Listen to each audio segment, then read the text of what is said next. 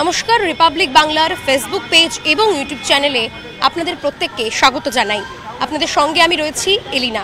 প্রত্যেক দিন আপনারা জানেন যে আমরা বিভিন্ন খবরের আপডেট নিয়ে আপনাদের সামনে হাজির হয়ে যাই। রিপাবলিক বাংলার ডিজিটাল দুনিয়ায় আপনারা নিত্য নতুন খবরের আপডেট পেয়ে থাকেন এবং আমাদের ফেসবুক কন্টেন্ট দেখতে পান। আমি এই মুহূর্তে আপনাদের যে খবরের আপডেট দেবো, আমি কোথায় রয়েছি আপনাদের জানাব আগে। আমি রয়েছি একেবারে শিয়ালদহ স্টেশন থেকে রাজাবাজারের দিকে টুয়ার্ডস রাজাবাজারের দিকে আমি পৌঁছচ্ছি। কারণ আজকে শিয়ালদহ স্টেশন থেকে সারা ভারত শান্তি সংহতি কমিটির পক্ষ থেকে একটি মিছিলের আয়োজন করা হয়েছে। ঠিক কী কারণে এই মিছিল, সেটাই আপনাদের জানাব। আমরা প্রত্যেকেই জানি প্যালেস্তাইনের সঙ্গে ইসরায়েলের নৃশংস লড়াই চলছে, যুদ্ধ চলছে সেখানে। আর সেই যুদ্ধে ইতিমধ্যেই প্রাণ হারিয়েছেন অনেকেই। প্যালেস্তাইনের গাজা ভূখণ্ড আজকে আক্রান্ত রক্তাক্ত হয়ে রয়েছে। সেখানে মৃত্যু হয়েছে নারী, মহিলা, শিশু, বৃদ্ধ প্রত্যেকের।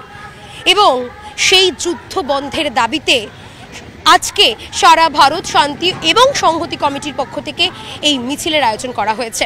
কারণ তাদের দাবি, যুদ্ধ নয়, শান্তি চাই।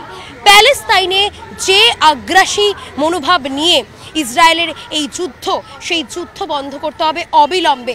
আর কোনো মৃত্যু নয়, আর কোনোভাবেই রক্ত দেখতে চান না কেউ। তাই আজকে যেভাবে শিয়ালদহ স্টেশনে এই মিছিলের আয়োজন করা হয়েছে, রাজ্যের অন্যান্য জায়গায়ও কিন্তু এই যুদ্ধবিরতি আন্দোলন চলছে।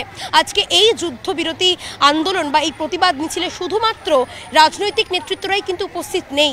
রয়েছেন চিকিৎসক শিক্ষাকর্মী শিক্ষক এবং একই সঙ্গে বুদ্ধিজীবীরা সমাজসেবীরা। তাদের প্রত্যেকের একটাই দাবি ইসরায়েল প্যালেস্তাইন যাই হোক না কেন, সারা দেশে যাতে এই গোটা পৃথিবীতে যুদ্ধ বন্ধ হয়। পৃথিবীর কোনো প্রান্তেই যাতে যুদ্ধ না কারণ আমরা প্রত্যেকেই চাই শান্তি বিরাজ করুক, গোটা পৃথিবী জুড়ে।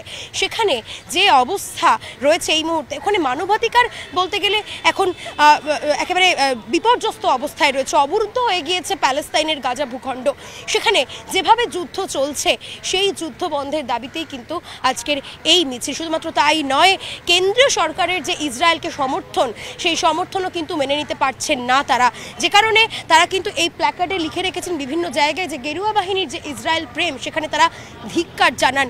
এবং আজকে আমরা দেখতে পেলাম সুজন চক্রবর্তী, রবীন দেব, মালিনী ভট্টাচার্য, অন্যান্য যারা সিপিএম নেতৃত্ববৃন্দরা রয়েছেন, তারাও যেমন হাঁটছেন। এর পাশাপাশি সমাজসেবী, বুদ্ধিজীবী তারাও কিন্তু এই মিছিলের অগ্রভাগে রয়েছেন। কারণ তাদের প্রত্যেকের একটাই দাবি, প্যালেস্তাইনে আর কোনো মানুষের যেন এইভাবে মৃত্যু না ঘটে। যুদ্ধের জন্য আর কোনো মানুষের যেন এইভাবে প্রাণ দিতে না হয়। কারণ যেভাবে সেখানে যুদ্ধ চলছে, নৃশংস অত্যাচার চলছে বোমা ক্ষেপণাস্ত্র করা হচ্ছে এবং একই সঙ্গে আমরা দেখেছি এখনও পর্যন্ত প্যালেস্তাইনের গাঁজা ভূখণ্ড একেবারে অবরুদ্ধ হয়ে পড়েছে। একেবারে যেখানে বিপর্যস্ত মানবাধিকার, যেখানে জনজীবন একেবারে বন্ধ হয়ে গিয়েছে সব কিছু সেখানে তারা চাইছেন শান্তি বিরাজ করুক। আর সেই শান্তির দাবিতেই আজকে পথে নেমেছেন প্রত্যেকে। শুধুমাত্র এখানেই নয়, বিভিন্ন দেশের আমাদের দেশে গোটা ভারতবর্ষের বিভিন্ন জায়গাতেই কিন্তু এই প্রতিবাদ মিছিল চলছে। অবশ্যই সেদিকে আমাদের নজর থাকবে। আমরা প্রত্যেকেই চাই যে যুদ্ধ বন্ধ হোক, শান্তি ফিরে আসুক আবার নতুন করে। আর অবশ্যই আপনারাও কিন্তু অন্যান্য খবরের আপডেটের জন্য নজর রাখবেন রিপাবলিক বাংলার ফেসবুক পেজ এবং ইউটিউব চ্যানেলে। আর অবশ্যই ইউটিউব চ্যানেলটিকে সাবস্ক্রাইব করতে ভুলবেন না। পাশে থাকা বেল আইকনটি ক্লিক করে দেবেন, কারণ সমস্ত খবরের আপডেট সবার আগে পাওয়ার জন্য আপনাদের অবশ্যই নজর রাখতে হবে। রিপাবলিক বাংলার ফেসবুক পেজ এবং ইউটিউব চ্যানেলে। নানা ধরনের কন্টেন্ট দেখার জন্য লাইক করুন শেয়ার করুন আমাদের ফেসবুক পেজ সাবস্ক্রাইব করুন আমাদের ইউটিউব চ্যানেল পাশাপাশি অন্যান্য ব্রেকিং নিউজের জন্য অবশ্যই চোখ রাখুন রিপাবলিক বাংলায়